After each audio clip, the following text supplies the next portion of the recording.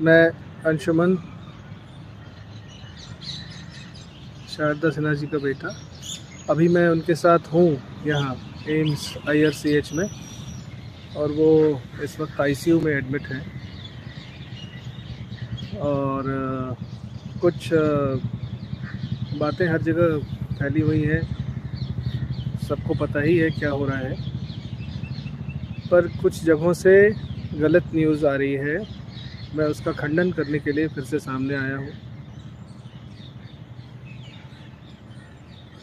शारदा जी, इस वक्त आईसीयू में हैं और अपनी स्थिति से लड़ रही हैं।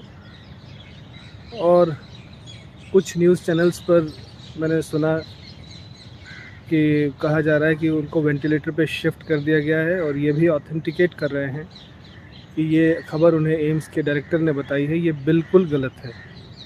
शारदा जी वेंटिलेटर पे नहीं है, वो अभी नॉर्मल ऑक्सीजन पे हैं। और, स्थिति गंभीर ज़रूर है।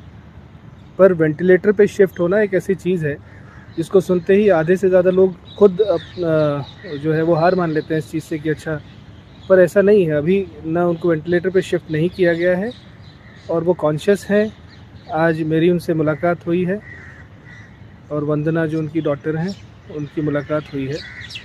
सिर्फ़ अभी आ, हम अटेंडेंस को ही अलाउड है उनसे मिलना उनको काफ़ी सीरियस रेस्ट्रिक्शंस में और आइसोलेशन में रखा गया है।